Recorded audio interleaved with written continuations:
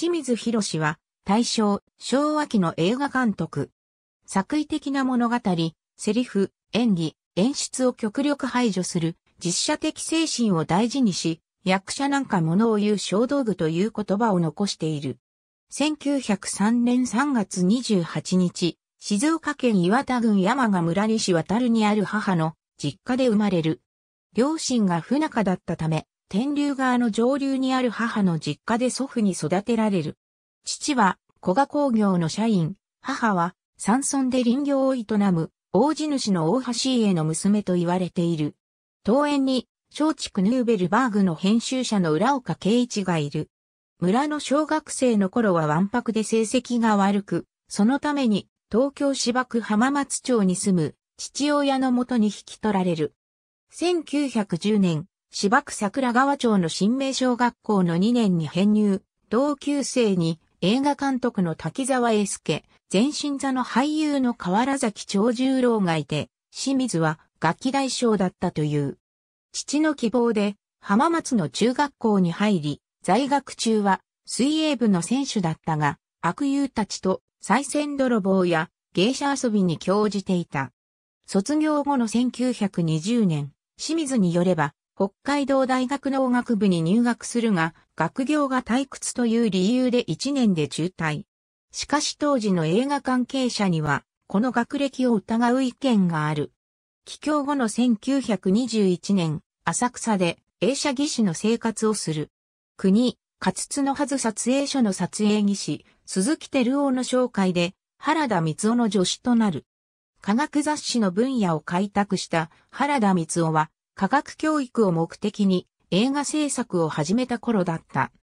1922年、原田の学芸活動写真社は解散。清水は鎌倉名護市に移った原田の住み込み助手となる。1922年11月頃、父の在米時代の知人、有島武雄の玄関番を務めていた関係から、幼い薫に紹介され、栗島澄子の口利きで、松竹蒲田撮影所に入社。池田義信監督に助手としてつくが、先輩の助監督に、成瀬幹夫がいた。翌1923年、小津安二郎が松竹に入社し、清水と小津は修正の親友となる。関東大震災のため、蒲田のスタッフは、1923年の下半期は、京都に移る。1924年6月、津田見武雄と共に監督に昇進。7月、入社して2年も経たずにまだ21歳の若さで、峠の彼方で監督デビューを果たす。当時においても、異例の若さであり、新人時代は、山村や田舎の田園風景を背景にして、若者たちの失恋と恋の衝動を多く描いて、センチメンタルな作風だったと言われている。山の話ばかり撮るため、山館と呼ばれたこともあった。1924年9月、前蒲田撮影所長の野村薫邸の京都行きに、従って、龍作子、大久保忠元らと、下鴨撮影所に移った。下鴨に入社したばかりだった田中絹代が清水の監督した村の牧場で主演デビューを果たし、その後、田中絹代と恋に落ちて結婚しようとする。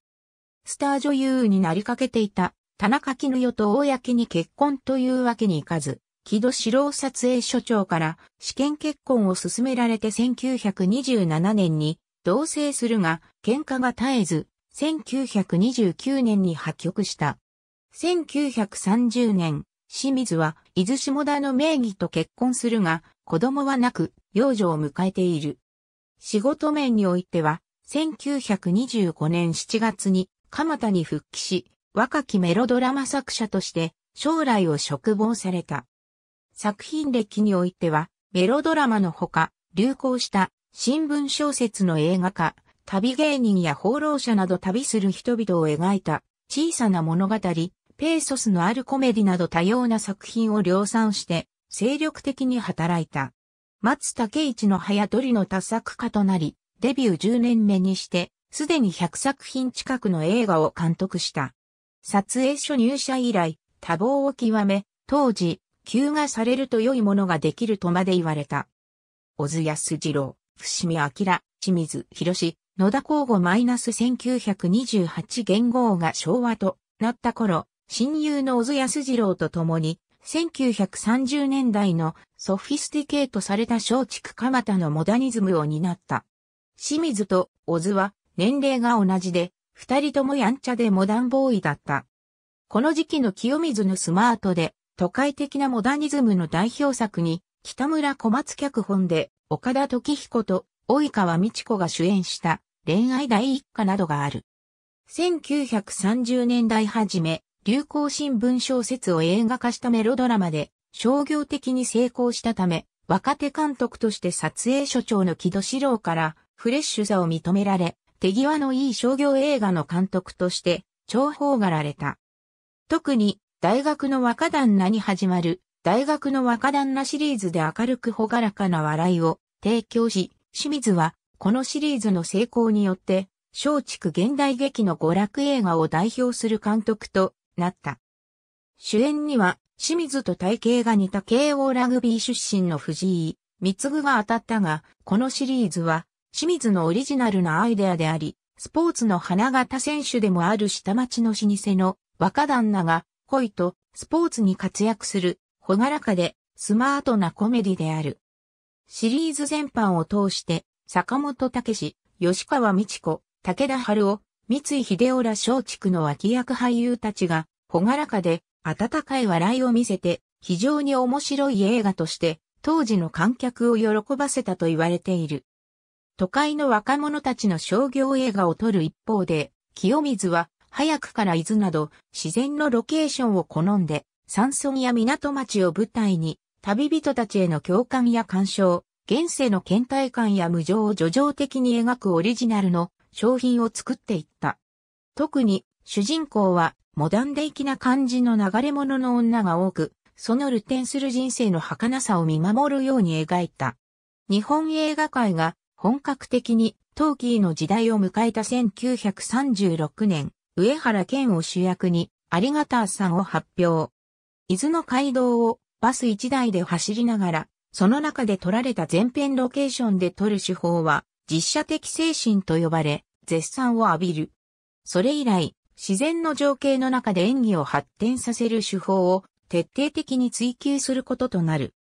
清水は作為ではない、あるがままなものを好んだため、子供や新人俳優、欧米や俳優、素人を好んで使った。その流れで、坪田ジョージの児童文学を映像化した、風の中の子供、子供の式の中で、彼の演出技法は効果的だった。この2作品の児童映画の成功から以降、清水は子供をうまく使う監督として有名になる。また、大人の役者の芝居臭さを嫌い、伊豆を中心に自然な情景を好んだ。当時、清水作品の子供たちの生き生きとした姿に驚いた映画評論家がその演出の秘密を聞くと、清水は楽器大将のように遊んでやるのさ、と答えたという。特に爆弾小僧、特艦小僧らやんちゃな子役を可愛がった。1939年、36歳で松竹大船への筆頭監督となる。1937年に始まった日中戦争の世相の中で時代の要請もあって、朝鮮で友達、台湾でサヨンの金を取るが、そこでも自然風景に対する独自の視線と自然のままの子供のような人物を描くという姿勢は一貫していた。1930年代後半、スポーツ学生の軍事教練の更新で始まる、花形選手、ひなびた、温泉宿の淡く美しい交流をエッセイのように撮ったかんざしなどで素朴な快活さやゆったりとしたユーモア、美しい情緒を描き出すが、当時の社会に横たわる世相もさりげなく写し取った。1940年、児童映画の延長として、当時、社会的にもシリアスな題材だった特殊飛行児童を取り上げたミカヘリの塔を大阪の修徳学院で長期ロケをして撮影し、1940年前後は名実ともに日本映画の巨匠として活躍した。清水の言動や作品から推測すると、特殊はいないという信念を持っていたと思われる。しかし、1943年、台湾でサヨンの鐘を制作中に松竹大船撮影所を追放された。清水の横暴な性格などがその原因と言われている。一時は撮影所を離れて京都や奈良の仏像に親しむ生活を送った。戦後は松竹を辞め、一時は隠遁したと噂されたが、繊細孤児たちを十数人引き取り熱海の山中で育てながら、1948年に自らの独立プロ、蜂の巣映画を立ち上げ、彼らを主人公に蜂の巣の子供たちをはじめとする蜂の巣三部作を作った。蜂の巣の子供たちは戦後の独立プロの講師としても知られている。また、新東方で発表した没落しながらも風流な生き方を求めた小原章介さん、脳性麻痺児の療育施設を描いた C のみ学園も知られている。1956年、溝口健二に誘われ、大英と専属契約を結ぶ。大英では最後の劇映画となった母の面影など母親と子供の関係を描いた作品を手掛けた。最後の仕事は日本教育テレビの連続テレビドラマ、両官様と子供たちの監修である。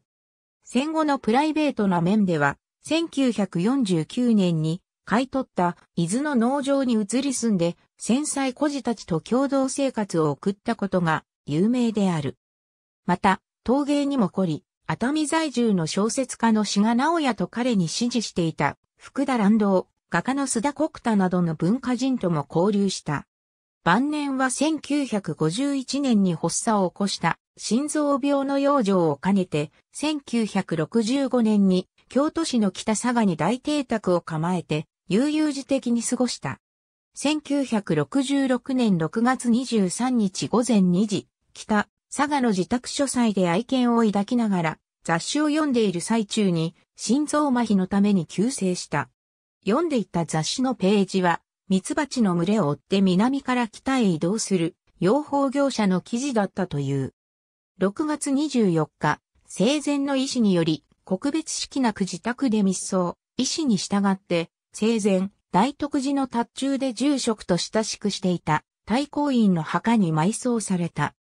77日期には、木戸四郎、内田トム、竜智秀、飯田長子、小暮道代、岩崎明らが弔問に訪れ、分骨が故郷の天竜側に流された。墓石には名前も何も刻まれてはいない。没後も一定の評価はあったが、忘れられた過去の巨匠の側面が強かった。